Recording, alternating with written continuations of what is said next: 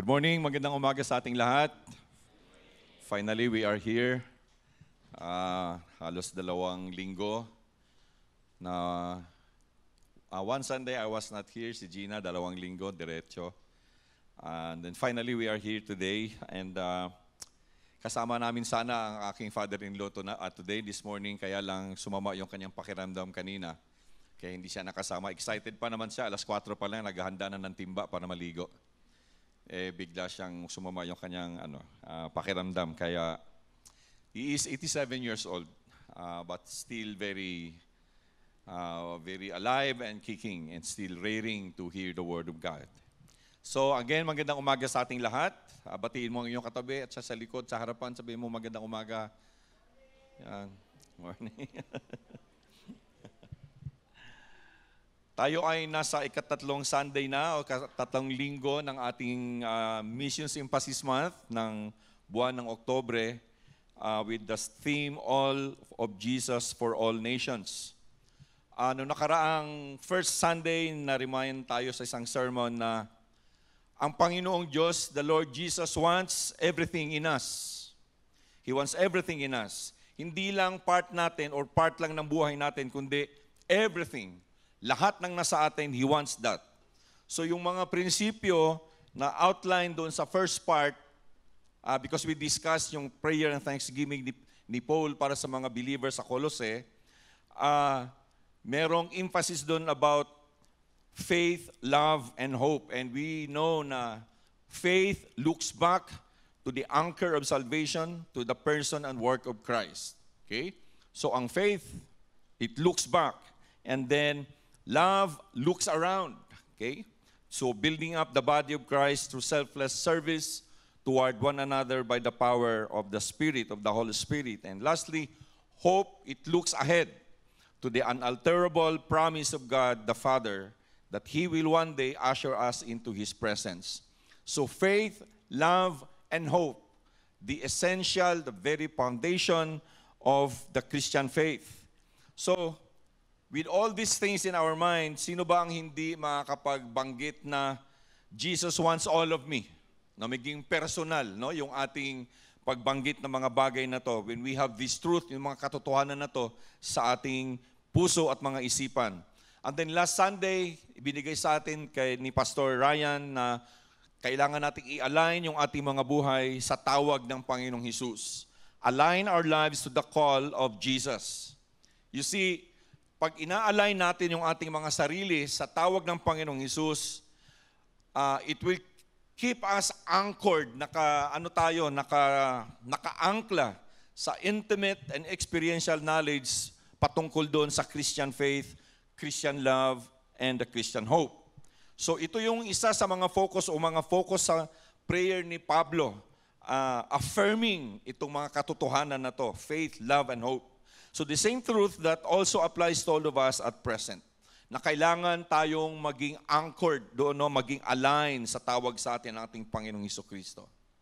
And then, tinapos ni Paul yung kanyang panalangin of thanksgiving by affirming sa mga believers doon na lahat ng mga believers kasama tayo ay tayo yung mga holy people at tayo ay tagapagmana ng kaharian ng langit the, the, the kingdom of light through the Lord Jesus Christ.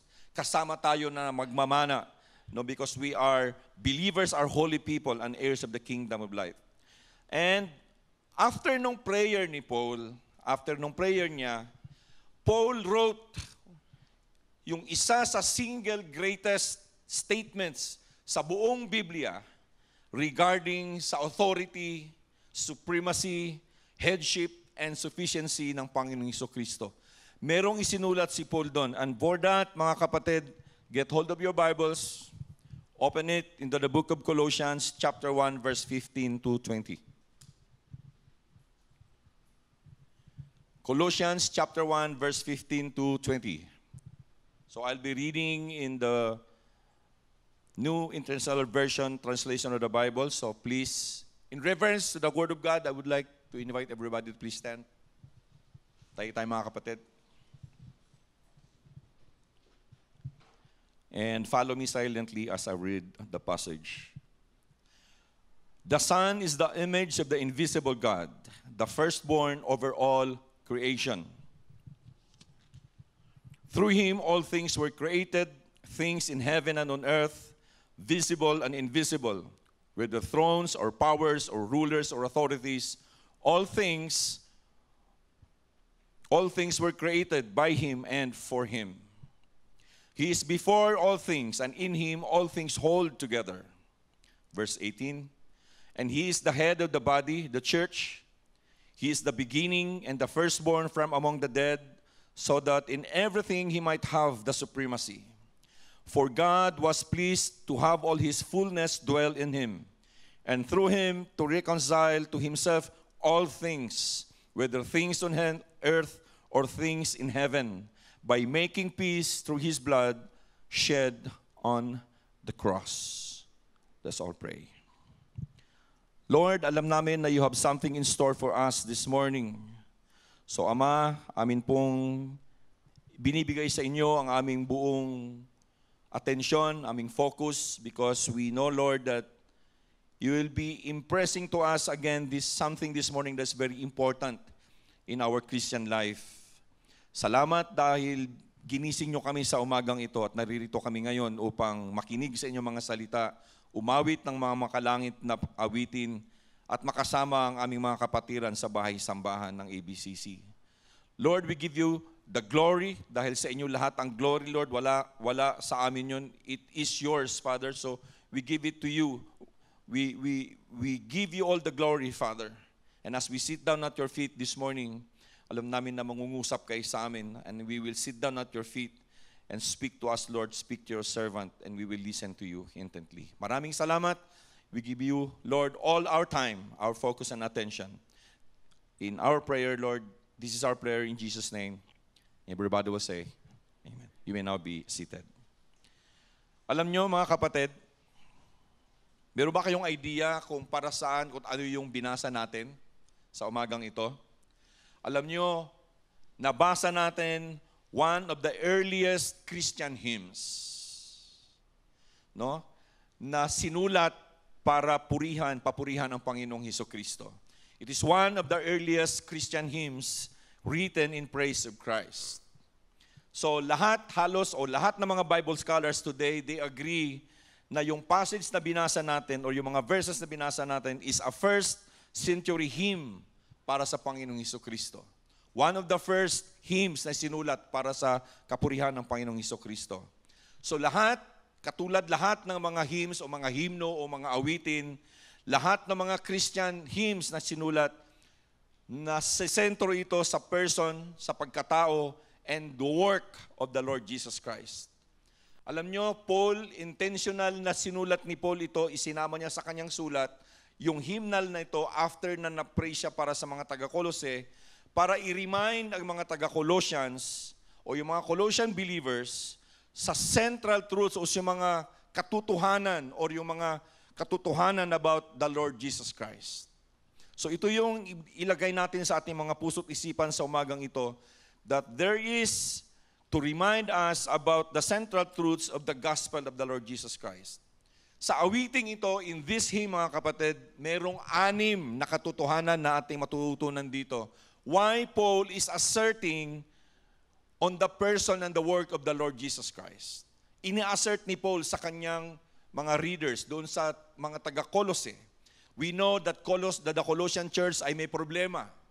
May problema sila doon dahil na, nagkikinig sila doon sa mga maling katuruan ng mga mga bagong believers na nandun. Pero wag din natin kalimutan na even if nagugulumihan sila, they are still spreading the, the news. They're spreading the good news. In fact, ang sabi doon sa unang unang parte ng prayer ni Paul is that I am very thankful because you have made the word of the Lord Jesus Christ to all the world. Parang ibig sabihin, hindi sila tumitigil sa pag-preach, hindi sila tumitigil sa pag sa pag-share ng magandang balita. Now, merong anim, so let us look at these truths. Uh, topically, hindi tayo gagawa ngayon na verse by verse, yung magkakasunod ng mga verse, but by topic, per topic, per verse. So una, una, unang truth, unang katotohanan, that Christ is supreme in all eternity. verse 15 and verse 17. Christ is supreme in all eternity. He is supreme in all, in, in all eternity. So gusto ni Pablo, he wants to put it straight sa mga nakikinig at sa mga babasa ng kanyang mga salita o kanyang sulat na merong eternal relationship between him, between Christ and the, and the, and the Father. Gusto niyang ibigay kaagad at ipakita sa kanila, ipabasa sa kanila that there is an eternal relationship. Pag sinabi natin eternal, noon pa man. Alam natin na for God there is no beginning in time because He is in time, space, sa Kanya lahat yon. So meron na siyang eternal relationship with God the Father. Now you see, God is beyond the limits of human understanding.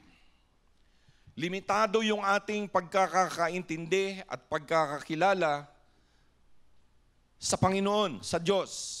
Kahit anong gawin natin, very limited yung ating understanding about who God is. That's why ang sabi ni Paul, He has made known who He is sa pamamagitan ng kanyang anak na si Panginoong Heso Kristo. God made known kung sino siya sa pamamagitan ng kanyang anak na si Heso Kristo. Tingnan ninyo ang sinulat ni Paul sa verse 1, uh, verse 15. The Son is the image of the invisible God, the firstborn over all creation. So hindi makikita, hindi maiintindihan ng tao kung ano ang Diyos. Until now, they still want, they still they still want to understand who is. In fact, many of them deny that God is existing. But Paul said, and he is telling us and that the Lord Jesus Christ is the image of the invisible God, the firstborn over all creation. Ina-affirm ni Paul that Jesus is the image of God. Even as far as saying na siya yung firstborn. Pero alam nyo mga kapatid, uh, hindi siya Xerox copy, ha? hindi siya being the image of God doesn't make him an ordinary copy na lalagay mo to sa Xerox machine o sa photocopy, photocopying machine, ayan na, voila, may copy ka na. He is not like that. Merong isinulat ang author ng Book of Hebrews and something and parallel, something parallel about this. Okay? Ito yung sinulat doon. Hebrews chapter 1 verse 3. Part 1 ng verse 3. The Son is the radiance of God's glory and the exact representation of His being, sustaining all things by His powerful word. So hindi siya ordinaryong kopya. Hindi siya ordinaryong image.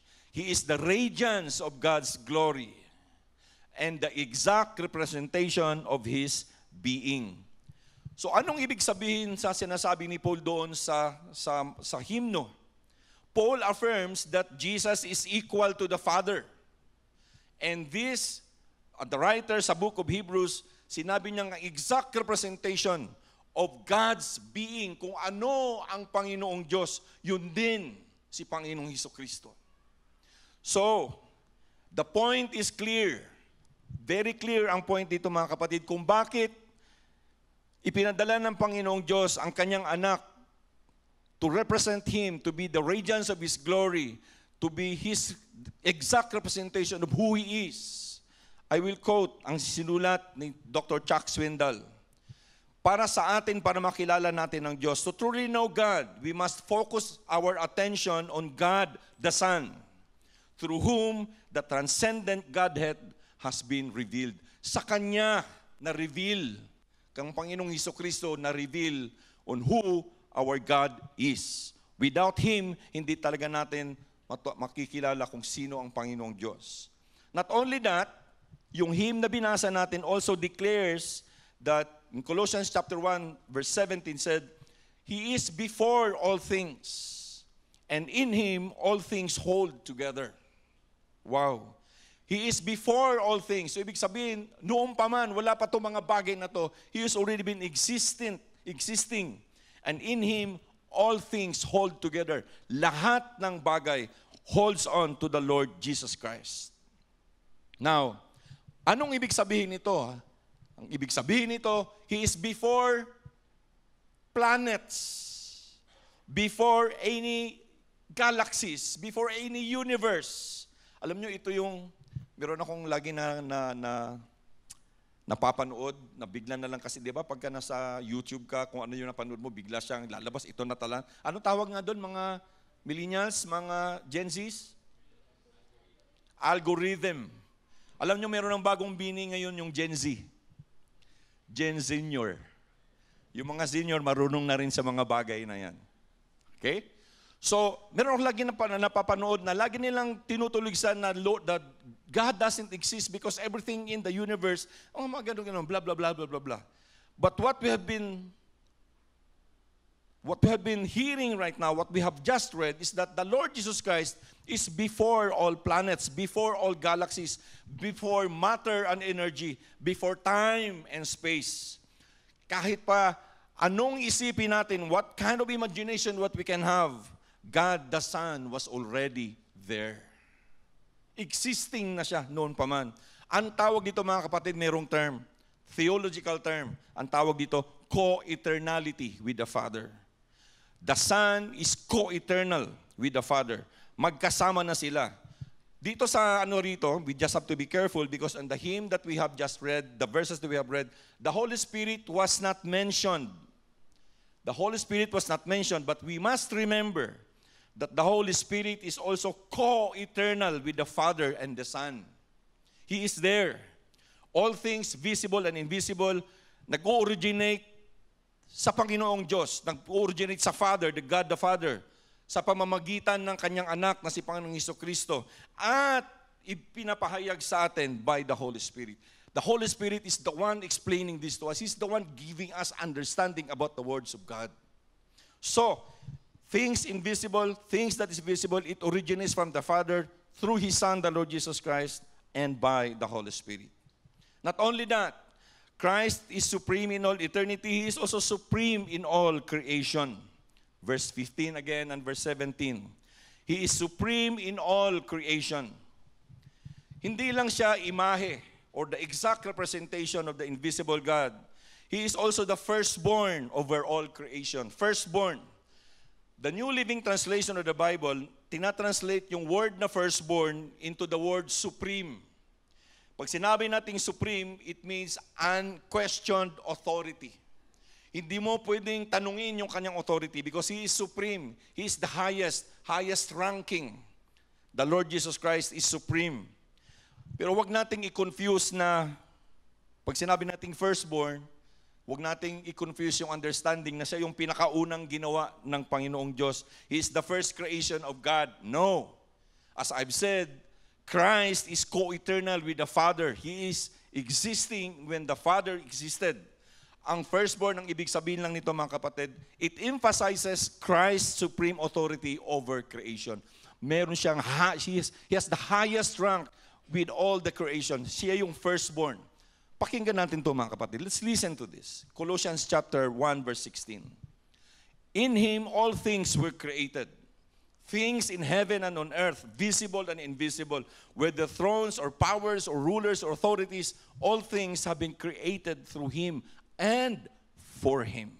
All things were created.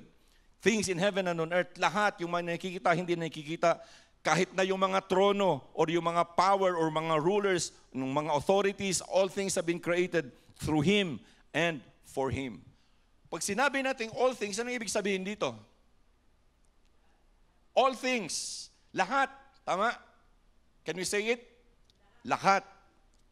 Paul said, ang ibig sabihin ni Paul dito that in comprises things in heaven on earth. Lahat ng mga nakikita at lahat ng mga hindi nakikita. All things. Even he added something na thrones or dominions or rulers or authorities. Pwede natin sabihin, lahat ng mga rulers right now, it was created for him and through him. Pero actually, this one refers to angelic beings.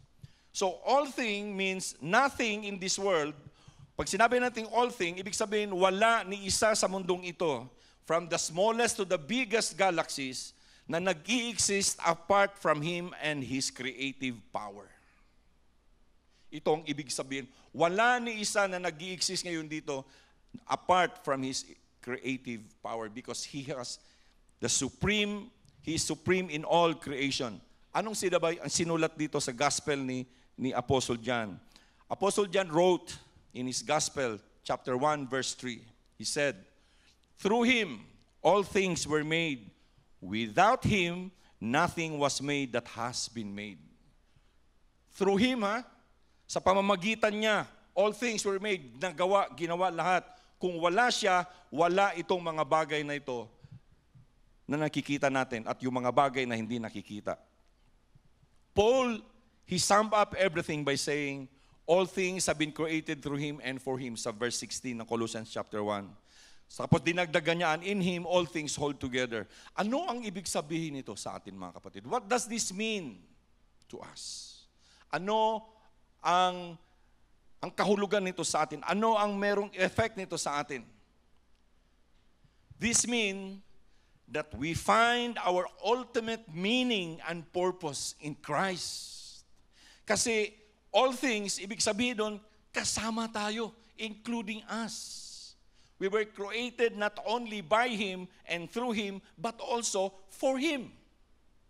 Now, if you are being asked, what is your purpose in life? What's your purpose in life? Our ultimate meaning and purpose in life is Christ. Amen? Kaya mga kapatid, pag tayo ay tinatanong, ano ba ang vision mo? Ano ba ang mission mo sa buhay? What is your purpose in life? Maraming hindi marunong sumagot nito kasi hindi nila alam that all things, including us, including you, is not is created only not only by Him, but through Him, but also for Him. I would like to quote Dr. Chuck Swindoll again when he said, Christ is not a creature, but the creator. He isn't a mere beam from a light source, but He is the source itself. He isn't a cog in the universe, but the one who holds it together and gives its meaning and purpose. Ang cog, ah, pag ikaw ay biker, alam mo kung anong meron dito. Ito yung gear doon sa likod ng bike. Siya yung nag-hold. Pag wala yun, hindi tumatakbo ang bike. Cogs, gear. He is the one that holds it together para mabigyan ng meaning at purpose ang lahat-lahat, hindi lang yung ating mga buhay. Okay? He is not a creature, but He is the creator. He isn't a mere beam from a light source, but siya ang source ng light itself. He isn't a cog in the universe, but the one holds it all together and gives it meaning and purpose. So what we have just seen, mga kapatid, is the supremacy of Christ over time and space. Now, habang nandito ako sa inyong harapan and I'm looking at your faces and your eyes, para kayong, anong pinagsasabi ni Pastor Dante? Because these things are abstract, transcendent. As I've said, it's beyond human understanding. No human mind can really grasp it and understand it. Kaya sa himno na ito mga kapatid, Paul brought it down to a more tangible reality. Kasi hindi natin nakikita. The whole universe, we cannot see it. Even if the most powerful telescopes are being made, only a portion of it can be seen. That's why human minds and the human, the human mind and the human heart cannot really comprehend what is all around us. Lahat dito, haka-haka. Even the start of life. Sabi nila, life starts from nothing. And nothing is life. Grabe no? Very counterintuitive. So walang, kaya si Paul, with this, with this hymn, he brought it down to a more tangible reality na mas maiintindihan natin. Anong sinabi ni Paul? That Christ is supreme in the church. He is supreme in the church, verse 18. He is supreme in ABCC. Amen? Remember na yung thanksgiving prayer ni Paul, he ended it with reminding the Colossian believers. Ano yung kanyang remind, reminders na binigay doon sa mga Colossian believers? Na lahat sila, sabi niya, be reminded that you have been rescued from the dominion of darkness and brought them into the kingdom of the Son that God loves. in whom meron tayong redemption and the forgiveness of sins. So ngayon mas maiintindihan na natin ano ang ibig sabihin na God revealed His person to his, through His Son. We were rescued from the dominion of darkness and brought them into the kingdom of the Son He loves. Binigyan tayo ng redemption and the forgiveness of our sins. Ang katotohanan nito is that at present, mga kapatid, lahat na tumanggap sa Panginoong Heso Kristo bilang kanilang Lord and Savior ay hindi na under sa lilim ng kasalanan at wala na rin kapangyarihan ang kasamaan laban sa atin. Meron na kasi tayong mararamdaman na I don't want to do this because this is against what the Lord Jesus Christ is telling me or has taught me. Dahil tayo nandito sa church, we are under one head, our Lord Jesus Christ. Siya ang head dito, hindi si pastor, hindi si elder, hindi si... He is the head of this church. He is the head of all the Christian church. He is the head of all the Christian church. Kaya kung mayroong magsasabi ako head dyan, ah, ma- ma- ma- matakot na kayo. Okay? Pag mayroon kayong narinig na ako ang head sa church na yan, matakot na tayo. Yung isang head, tatakbong, ah, huwag na nga. Hindi nagbigay ng mahabang diskusyon si Pablo patungkol sa pagiging head ni Kristo sa simbahan, sa church. Pero, meron siyang binanggit dito in detail kasi itong, itong binasa natin na Colossians is part of the prison epistles na ginawa ni Pablo na dinala ni Tychicus. Apat na mga epistles. Ephesians, ito, Colossians, Philippians, at yung sulat na personal para ka Philemon. So apat. Isa doon, merong detalye na binanggit si Pablo bilang sa ulo bilang headship, the headship of the Lord Jesus Christ. So, itong letter na to was addressed to the believers in Ephesus. Alam natin to mga kapatid, chapter 5 and chapter 6. Right? In fact, sa pag, pag address ni Paul o sa pagsasabi niya about the headship of the Lord Jesus Christ, lastly na kanyang inaddress is the basic unit or the basic component of the community. Inaddress niya to sa Ephesians chapter 5:23. Sabi na, basahin ko sa Tagalog. Sapagkat ang lalaki ang siyang ulo ng kanyang asawa, tulad ni Kristo na ulo ng iglesia na kanyang katawan at siyang tagapagligtas nito. You see, he mentioned that Christ is the head of the church and he is also the head of the family. Amen. He mentioned that lastly, he mentioned that how important the family is. Tulad ni Kristo na ulo ng iglesia na kanyang katawan, the body of Christ. So, Christ is not only supreme in all eternity, He's not only supreme sa lahat in all creation, He's not only supreme to the church, He is also supreme in the resurrection. Kasama sa hymn na to mga kapatid, yung supremacy ng Panginoong Hesus sa resurrection, sa pagkabuhay na maguli. Now, alam natin na hindi lang si Kristo ang nabuhay, uli. There were records in the Bible of people, in fact, tatlo ata dito mga bata, na nabuhay uli. Recorded sa Bible. Number one is yung anak ng, ng widow sa Sarifat ba yun, Pastor? Na pinagpray ni Elisha, Prophet Elisha. Patay na yung bata patnong kanyang dinapaan, nabuhay. Right? Pangalawa is yung daughter ni Jairus. Si Jairus isa sa mga mga prominenteng uh, tao sa synagogue during the time of the Lord Jesus Christ. Sabi niya, punta ka sa bahay para pagalingin yung aking anak. But on the way, maraming pinagaling ang Panginoong Diyos biglang may servant galing sa bahay ni Jairus, sabi niya, wag mo nang papuntahin doon ang teacher or the Lord Jesus Christ because patay na ang iyong anak. Sabi ng the Lord Jesus, no, he is just sleeping, she's just sleeping. Buhay ang iyong anak. True na, pagdating ni Jairus sa bahay niya, buhay yung bata. Sino pa? Ang kaisa-isang anak nung, nung nalalaki nung isang byuda na binuhay din ng Panginoong Hesus. Right? At sinong makakalimot kay Lazarus? Na-imagine nyo ba si Lazarus na siya ay palabas doon sa kanyang libingan? Na nakabalot pa, na sabi ng Panginoong Heso Kristo, Lazarus, come out! Nabuhay si Lazarus, di ba? Now, bakit sasabihin ni Paul, bakit sasabihin dito sa hymnal na supreme ang Panginoong Heso Kristo sa resurrection? Bakit siya mayroong authority in the resurrection? Eh, hindi lang naman pala siya yung nabuhay na maguli. Maraming naka-record sa Bible for those people that has, you know, nabuhay uli. The Lord Jesus Christ is supreme in the resurrection because yung kanyang resurrection is one of a kind. Hindi siya katulad ng iba.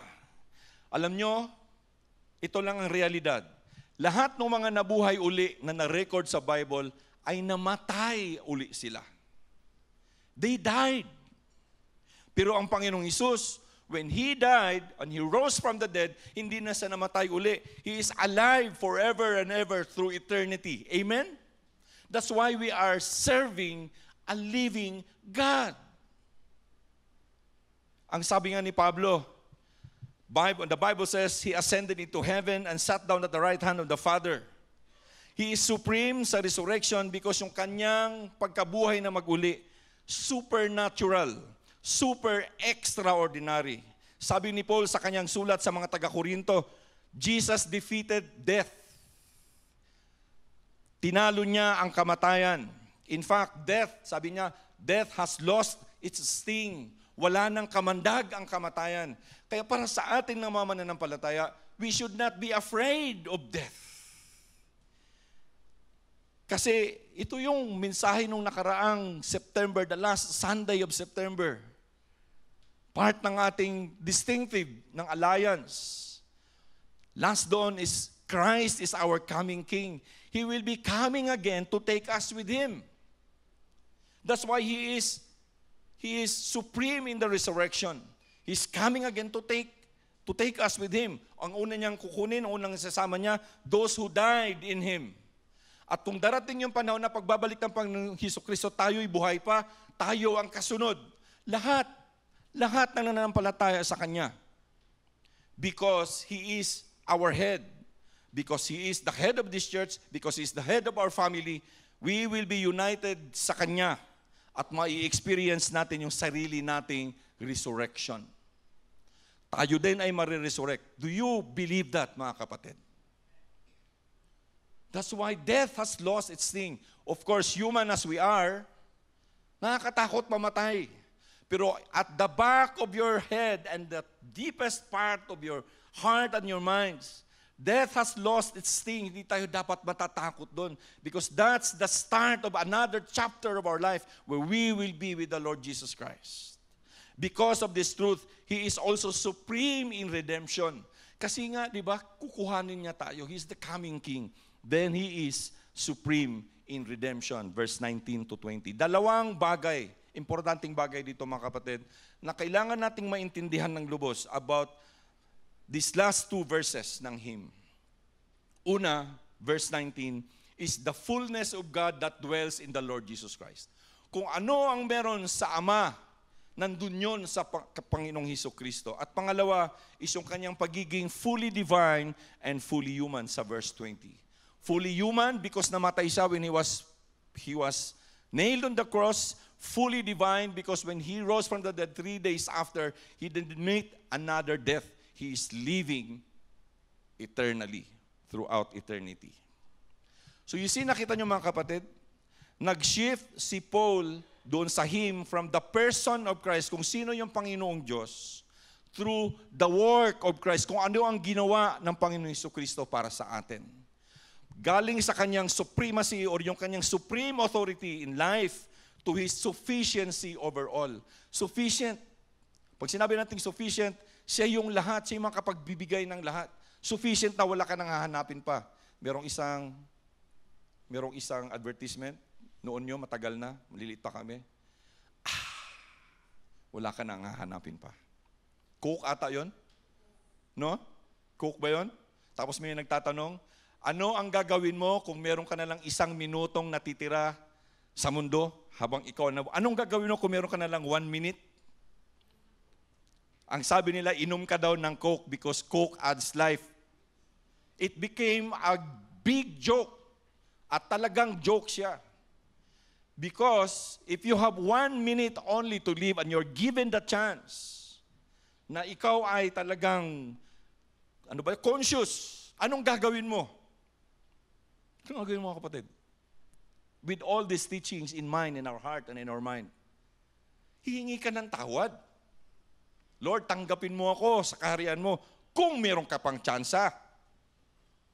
Kung meron pa ka pang one minute. Because He is supreme in redemption. So, the work of Christ, nang dahil sa kanyang krus, nireconcile niya ang lahat ng bagay. Pag sinabi mong lahat ng bagay, merong reconciliation. Reconciliation speaks about relationship. So lahat ng bagay na reconcile sa kanya. Sabi ni Paul, sabi ni Paul, verse 20, and through him to reconcile to himself all things, whether things on earth or things in heaven, by making peace through his blood shed on the cross. Kaya tayo tinuturuan tayo. Faith, love. Love looks around. Ito yung ibig sabihin nito. Mga kapatid, things na nakikita, things na hindi, reconciled lon sa Panginoong Heso Kristo. Kaya, lagi tayong hinihikayat na magpatawad. Mahalin ang iyong kaaway. It's so hard. Easier said than done. Pero sabi nga rito, from the Lord's supremacy to Lord's sufficiency, He is sufficient. And sabi nga ni Pablo, His grace is sufficient. When was the last time that we prayed for sufficiency of the grace of the Lord Jesus Christ? Kasi lahat, things in heaven or things on earth, lahat ng bagay, kasama yung mga sama ng loob natin, kasama yung mga sakit natin, kasama yung mga mga worries natin sa ating mga buhay, it reconciled, nare-reconcile siya ng dahil lang sa Panginoong Heso Kristo because of His blood that shed on the cross. All things, kasama ang mga bagay sa lupa at mga bagay sa langit. Lahat ni-reconcile ng Panginoong Diyos.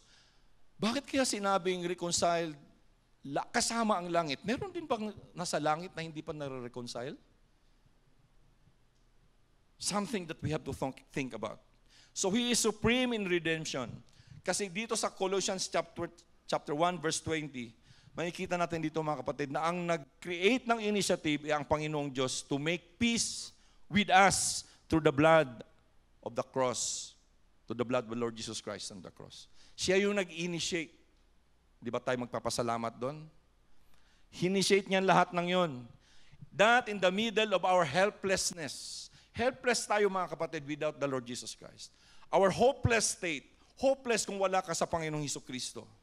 Kasi ang buong buhay natin, ang buong buong buhay natin, our body and our soul is saved by the work of Christ. Kaya everything in us, kaya lagi nating sasabihin, Jesus wants all of me.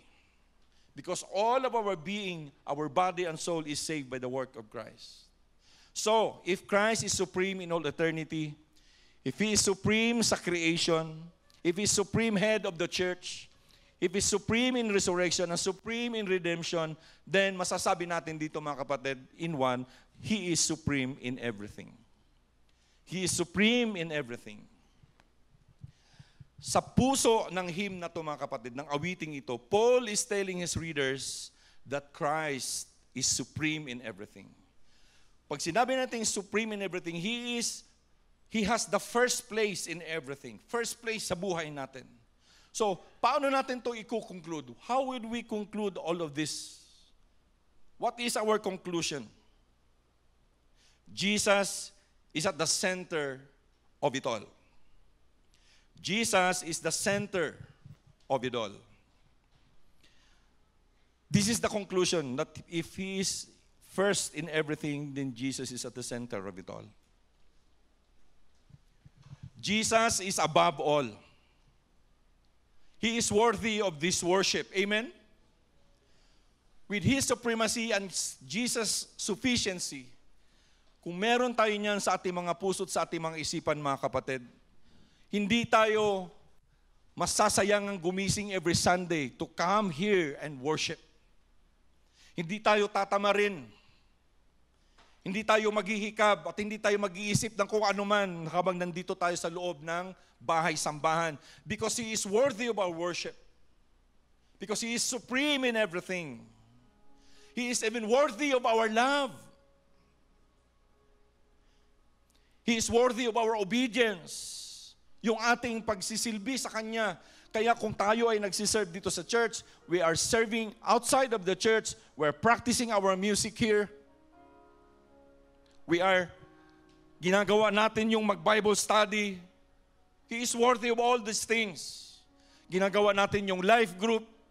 Minsan pag nagla-life group na, nag-iisip ka nang umalis.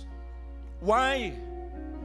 Because Jesus, hindi siya nako-consider na everything sa buhay. Hindi siya first sa buhay natin. But upon hearing this message, He is worthy of our lives, ng ating mga buhay.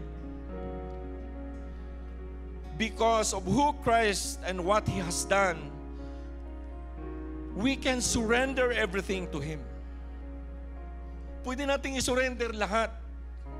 Maliliit na bagay, malalaking bagay, yung mga nakaraan, the past. Don't let the past haunt you anymore. Because He is first in everything. He is first in our present life today. Ano man ang iyong dinaramdam sa araw na to, o ngayon, you have problems with your work, you have problems with your projects, you have problems with everything, you have problems with money. This is the present time. He should be the first. Anong ibig sabihin nun mga kapatid? Before of us thinking of solutions of the problems that we have, call on His name. Amen. Ang problema natin, lagi siyang nasa, minsan nasa dulo pa eh. We always think of things to solve all these things. But sabi niya, we can surrender everything to the Lord Jesus Christ. Maliliit na bagay, malalaking bagay, yung nakaraan, yung present, and even the future. Lahat naman tayo hindi natin alam kung anong future natin, kung ano talagang realidad ng future natin. But one thing is for sure, that our future was already being prepared by the Lord Jesus Christ.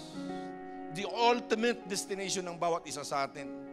The only thing that we have to do right now is to be aware in our journey habang nandito tayo. Kasi lahat pwede nating isurrender sa Panginoon. Even yung mga hindi natin nakikita, even yung hindi natin naiintindihan.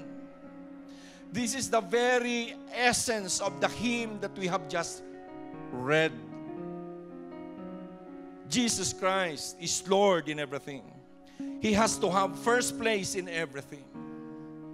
Pag siya ang nauna mga kapatid, wala tayong mar... Well, mararamdaman natin yung takot, but we have the assurance and we have the confidence that we will be able to go through whatever challenges that we have right now. Amen? Kaya ang sabi, since He is supreme in all of these things, He should be the first in our lives. Amen. Can we say it? Jesus, you're first in my life. Can you say it loudly?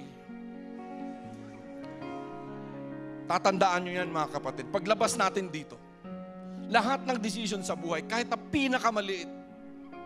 In fact, sa 1 Corinthians chapter 10 verse 31, in everything that we do, ang sabi doon, do it all for the glory of God. He is the first. And Jesus Christ is the exact representation of God's being. The Lord, the Father did it so that meron tayong nakikita at meron tayong visible at tangible na nakikita, mga kapatid. Not only that, He is the center and the reason why we worship. He is the center and the reason why we do missions. He is the center of our sermons. Every sermon, not only during Missions Emphasis Month. Is the center of missions and why we should preach and share the gospel. I mentioned this sa inyo. I was in Japan two weeks ago. If you will be able to, to go there, and even in this mga mga mga first first world country, parang mapapansin mo doon, lahat na lang puro kasiyahan. Pero pag tinanggal mo yung mga kasiyahan na yun, mawawala na sila ng happiness. Because happiness depends on happenings. Joy is more than happiness and it depends on the Lord Jesus Christ. Amen? Kaya kung meron kang Panginoon sa buhay natin mga kapatid, there is something in us, joy, na hindi maipapaliwanag. Because Jesus is at the center of it all. From beginning to the end.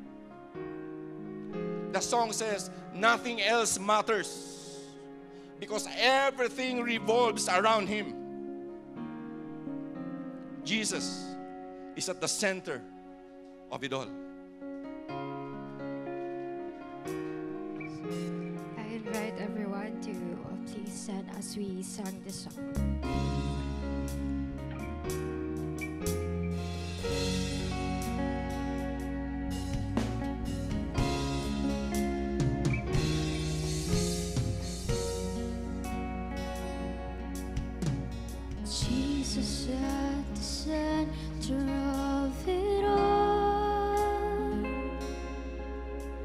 Jesus at the center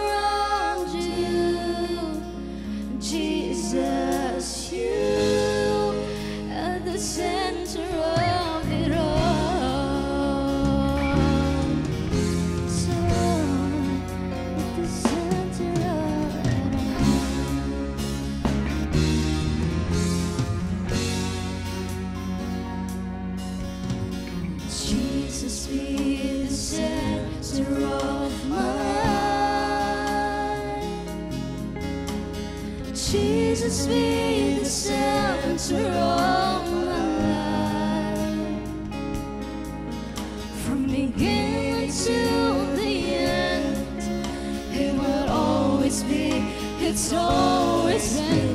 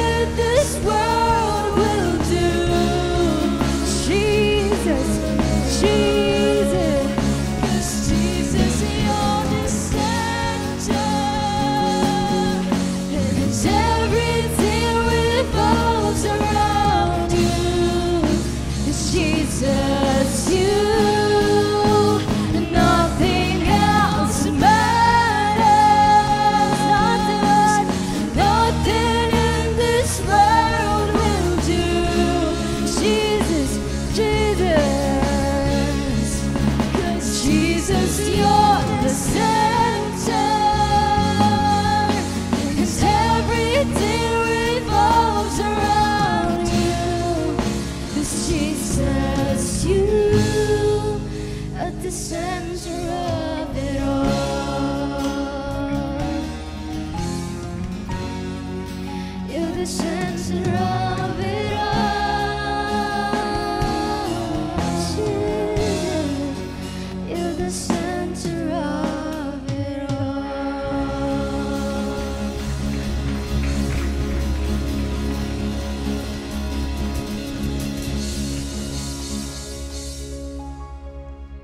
heard the message today,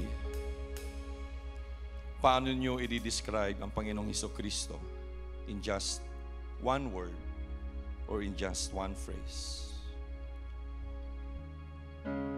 Ngayong nalaman natin ang mga katotohanan ito about the Lord Jesus Christ, what difference can it make in the way you live?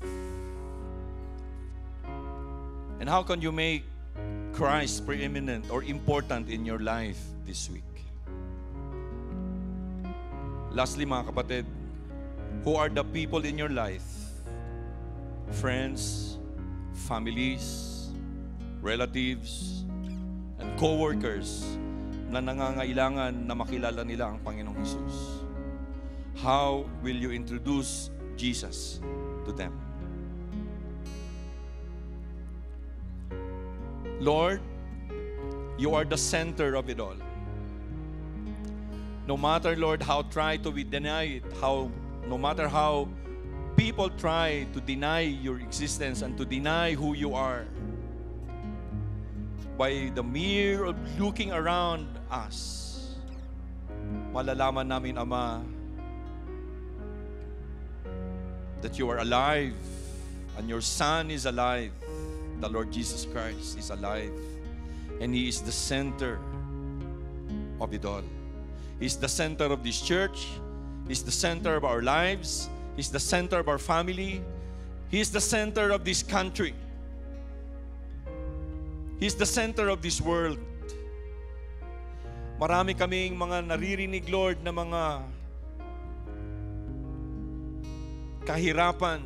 Naririnig, Lord, na gera. Naririnig, Lord, na mga uncertainties. Even, Lord, mga masasamang mga balita. In fact, every time that we put on our television sets or our radio sets, yung aming mga stereo sa aming mga sasakyan at kang ito-tune in namin yung Lord sa mga radio stations, wala kaming ibang marinig, Lord, sa kanila kundi balitang mga masasama. And if we will only be bombarded with all these negativities all around us, malilimutan talaga namin, Lord, na you are still in control and you are in the center of it all. The good news is we are here. We should be the catalyst of the negativities of this life, of this world, of this city, of everything, Lord, na kung nasaan kami. The joy of the Lord Jesus Christ should always be in our hearts. So that's why, Father, ang aming prayer sa umagang ito, make it, Lord, na sa puso namin at sa aming mga isipan, that it will be impressed to all of us that Jesus is the first of everything in our lives. Salamat for that reminder. Salamat, Lord, sa presensya ng bawat isa. But most of all, Lord, salamat sa inyong presensya dito, Lord, sa loob ng bahay sambahan. And even, Lord, doon sa mga nag-worship na kasama namin, Lord, online. Wherever you are right now, kapatid, the Lord Jesus Christ is with you and He should be the first in your life. Yes, maraming maraming salamat, Lord, sa kalakasan na binigay nyo sa bawat isa. At sa joy na ibinigay nyo, the joy, the gift of joy and your grace that is sufficient. Sufficient sa lahat ng aming mga pangangailangan. May it be, Lord, personal, may it be emotional, may it be psychological needs, may it be, Lord, financial needs. Your grace is enough. All we have to do is to make you first in our lives. At Lord, makikita namin, mararamdaman namin na merong unti-unting solusyon sa mga problema namin. So Lord, before namin isipin yung aming mga struggles, before namin isipin yung lahat ng aming nai-experience ngayon habang kami naririto sa mundong ito,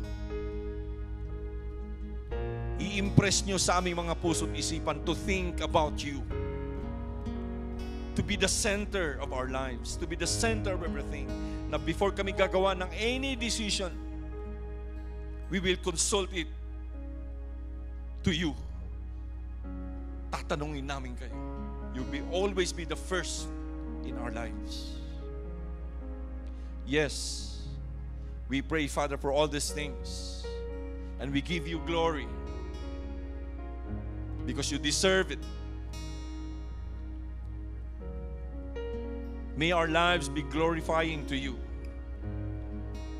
May our lives will always give you, will always please you. Because that's the main, main reason, Lord, why we are existing. That's our purpose. That's the meaning of our lives. And all these things na tinatamasa namin, bonus na lang ito mga, kap- mga, mga aming ama. Bonus na lang. The blessing is your presence in our lives. Sabi nyo nga, ask and it will be given. Knock and the door will be opened. What does that mean?